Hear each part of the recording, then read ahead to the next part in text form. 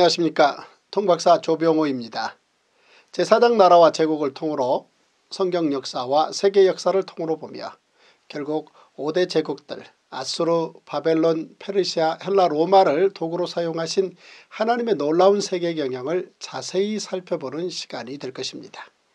오늘은 성경과 5대 제국, 선행학습, 애굽과 성경, 애굽 제국의 추락, 홍해 사건 이야기입니다. 성경과 5대 제국 책 42쪽에서 47쪽의 내용입니다. 집에 초상이 나면 가문 전체가 거의 올스톱입니다. 직장도 학교도 어떤 중요한 약속도 약속이나 한 듯 다 취소되고 이 취소는 충분히 존중됩니다. 그런데 나라 전체 모든 가정에 초상이 났다고 생각해 보십시오. 어떤 이성적이고 합리적인 사고도 불가능해지는 것입니다. 왕의 장자에서부터 애굽 전체 모든 집안의 장자가 죽었으니 나라가 무슨 정신이 있었겠습니까 애굽의 모든 집에 초상이 난 바로 그 밤에 역사적인 출애굽 사건이 일어났던 것입니다. 출애굽의 인원은 유아 외에 보행하는 장정만 60만 명이라고 성경은 기록하고 있습니다. 신약시대까지도 숫자를 셀 때 20세 이상 60세 미만의 전쟁에 나갈 만한 남자의 숫자만 계수했던 이스라엘의 풍습을 보아 출애굽 때의 여자와 노인 그리고 유아를 포함하면 전체 인구는 약 200만 명에서 크게는 250만 명까지 볼 수 있을 것입니다. 그리고 많은 가축을 동반했으니 그 행렬이 대단했을 것입니다. 모세는 하나님의 명령에 따라 블레셋 사람들의 땅을 통과하지 않고 홍해로 방향을 잡습니다. 블레셋 길이 가깝지만 하나님은 그들을 그 길로 인도하지 아니하셨습니다. 그 이유는 하나님께서는 이 백성이 전쟁을 하게 되면 마음을 돌이켜 애굽으로 돌아갈까 염려하셨기 때문입니다. 그러므로 이스라엘 자손이 애굽 땅에서 대열을 지어 나올 때에 하나님이 홍해의 광야길로 돌려 백성을 인도하십니다. 이때로부터 하나님께서는 매일매일 이스라엘 백성에게 기적을 베푸십니다. 그 첫 번째 기적이 바로 구름기둥과 불기둥입니다. 여호와께서 그들 앞에서 가시며 낮에는 구름기둥으로 그들의 길을 인도하시고 밤에는 불기둥을 그들에게 비추사 낮이나 밤이나 진행하게 하시니 낮에는 구름기둥 밤에는 불기둥이 백성 앞에서 떠나지 아니하니라. 또한 출애굽한 지 한 달 후부터 40년간 하늘에서 비처럼 만나가 내려 백성이 농사짓지 않고도 매일 배부르게 먹는 기적이 이어집니다. 광야에서 이스라엘 민족은 집중적으로 공부를 하게 됩니다. 그것도 세상 사람들이 가장 어렵다는 법을 공부하게 되는 것이지요.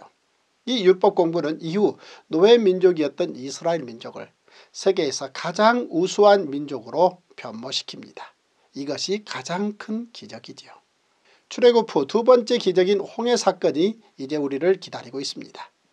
하나님께서 바로의 마음을 강팍하게 하심으로 바로가 이스라엘 노예들을 출애굽시킨 일을 후회하면서 이 사건은 시작됩니다. 이스라엘 백성이 출애굽한 사실이 애굽 왕에게 알려지자 바로와 그의 신하들이 그 백성에 대하여 마음을 바꿉니다. 생각할수록 그들의 노동력이 너무 아까운 것입니다. 물론 복수하겠다는 마음도 있었겠지요. 바로는 곧 그의 병거를 갖추고 그의 백성을 데리고 갑니다.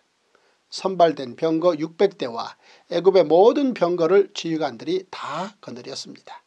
여호와께서 애굽왕 바로의 마음을 완악하게 하셨으므로 그가 이스라엘 자손의 뒤를 따르니 이스라엘 자손이 담대히 나갔습니다. 애굽 사람들과 바로의 말들 병거들과 그 마병과 그 군대가 그들의 뒤를 따라 바알스본 맞은편 비하히롯 곁 해변 그들이 장막 침대에 미치니라. 진퇴양난이라고 하지요. 이스라엘 백성이 보니 앞에는 홍해가 있고 뒤에는 애굽 군대가 쫓아오는 것입니다. 이스라엘 백성은 이때부터 지치지 않고 하는 한 가지가 있었는데 바로 하나님과 모세를 향해 원망이라는 것을 정말 열심히 합니다. 하나님은 기적을 준비하고 계셨는데 말입니다.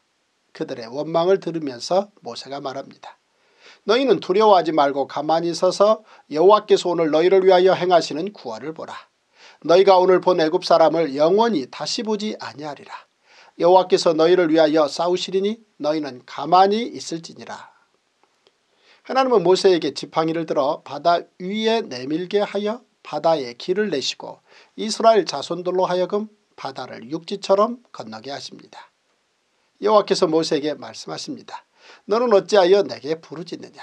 이스라엘 자손에게 명령하여 앞으로 나아가게 하고 지팡이를 들고 손을 바다 위로 내밀어 그것이 갈라지게 하라. 이스라엘 자손이 바다 가운데서 마른 땅으로 행하리라.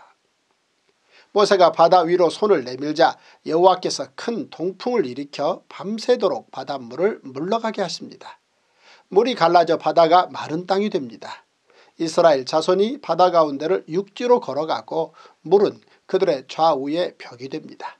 그런데 이때 애굽 사람들과 바로의 말들, 병거들과 그 마병들이 다 그들의 뒤를 추격하여 바다 가운데로 들어오는 게 아니겠습니까?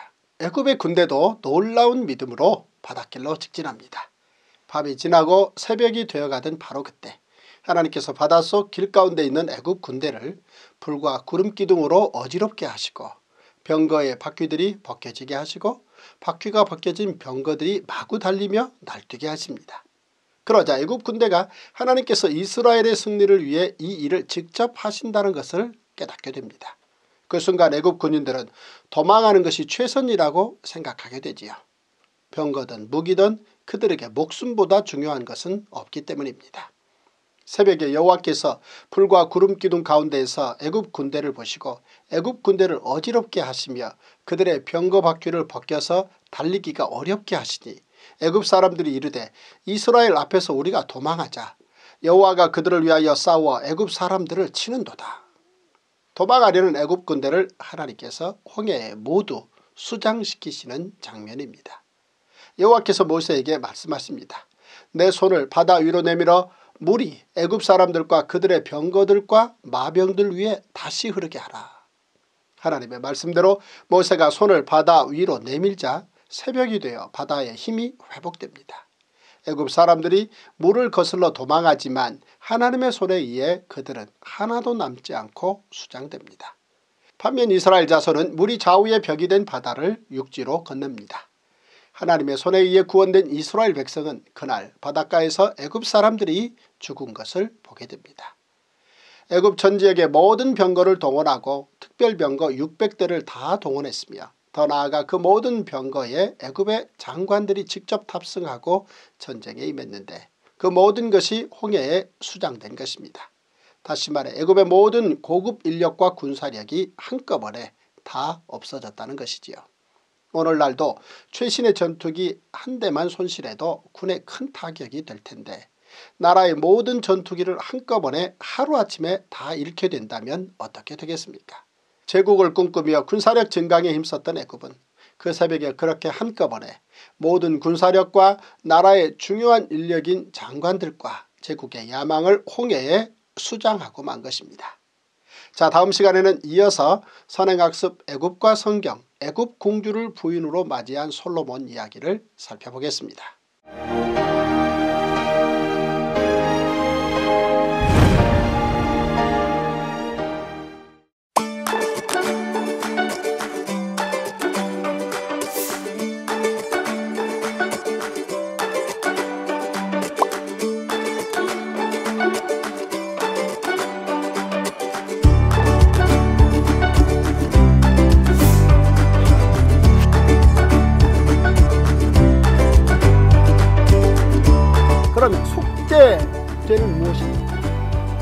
그 다음 용서를 받고 그 다음에 회복이 되는 이런 놀라운 제사가 바로 이 속죄제인데요.